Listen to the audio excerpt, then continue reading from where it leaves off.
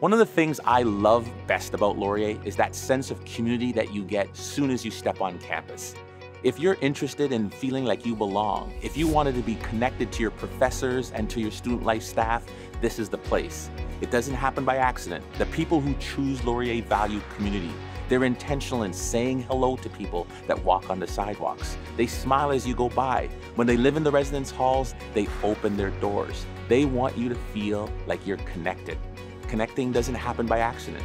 Leave your door open, meaning join a club, say hello to folks. Whether it's intramurals, high performance athletics, Dungeons and Dragons, the chess club, the biology club, there's something for everyone with our over 300 clubs.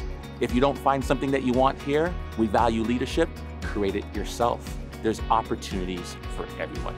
I look forward to welcoming you on campus one day. Stay golden.